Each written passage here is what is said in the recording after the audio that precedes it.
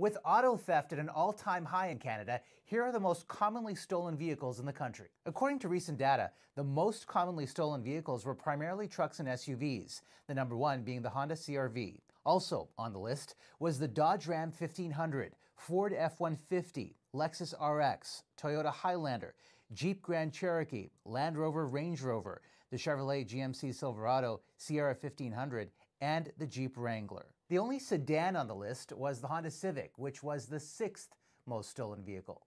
For tips to stop your vehicle from being stolen, go to ctvnews.ca or the CTV News app.